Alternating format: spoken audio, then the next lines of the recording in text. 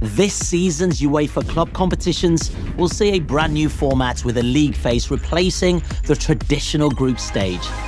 Under the new format, in the UEFA Champions League, teams will play eight matches against eight different teams, four at home and four away.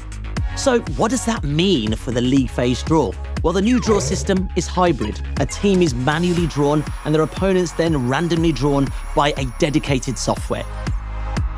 Teams are seeded in four pots based on their individual club coefficient.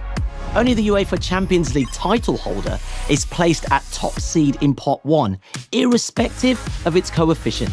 Starting with the nine teams in pot 1 then, a ball is manually drawn at random. An automated software then randomly draws eight opponents, two from each pot. The software also randomly decides which matches that team plays at home and which matches away. Teams will face one match against opponents from each pot at home and one away.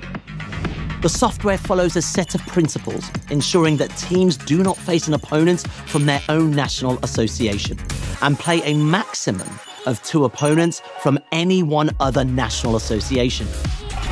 While doing this, the software always calculates the draw will not at any point result in a deadlock situation.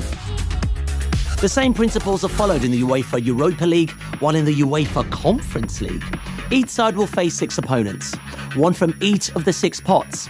In this case, pot one and two, three and four, five and six are paired so that one match is at home and one match away.